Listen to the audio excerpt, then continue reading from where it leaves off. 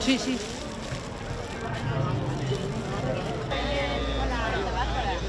La MER lleva desde 2013 trabajando para conseguir el blindaje constitucional de las pensiones, que se convierta en un derecho fundamental, y desde el año pasado hemos intentado también enfocar en grupos más vulnerables, como en este caso es el colectivo de las mujeres, que como sabéis, debido a las lagunas también laborales, pues, tiempos parciales, eh, también trabajos temporales, cuando en el momento de la jubilación llegan con pensiones mucho más bajas y con problemas también de sobrevivir dignamente en estos momentos tan complejos. La brecha salarial se reproduce, se multiplica en las pensiones. Por lo tanto, a través de este acto de recogida de firmas por el blindaje también queremos focalizar en el problema de las mujeres de cara a tener una pensión digna y asegurada y que no dependa un poco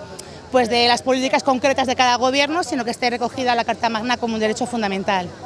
Tenemos cerca de un millón y medio ya eh, de firmas recogidas y bueno, queremos cerrar esto con ese número emblemático de dos millones de firmas para demostrar que la ciudadanía pues quiere que las pensiones, que es un derecho fundamental, sea así recogido en la Constitución española. Entonces el día 4 las entregaremos al Defensor del Pueblo y se harán recogidas de firmas en toda España. Eh, estoy colaborando con ellos desde la portavocía, en la comisión de enlace, en esta campaña que nos parece básica, fundamental, un derecho eh, al que tenemos todos que, luchar y sumarnos, porque las pensiones es algo que nos da dignidad. Y hoy es un día más eh, especial